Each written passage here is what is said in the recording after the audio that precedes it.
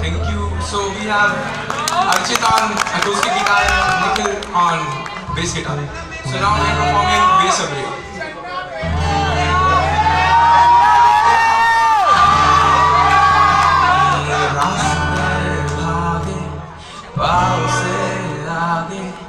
जिंदगी से चल कुछ और भी मांगे रास्ते